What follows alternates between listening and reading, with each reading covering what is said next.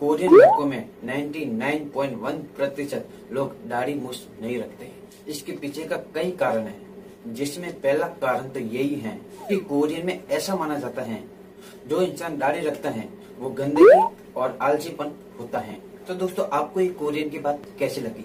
Comment करके ज़रूर बताएँ और ऐसी अमेजिंग फैक्ट वीडियो जानने के लिए वीडियो को लाइक और चैनल को सब्सक्राइब ज़रूर करें।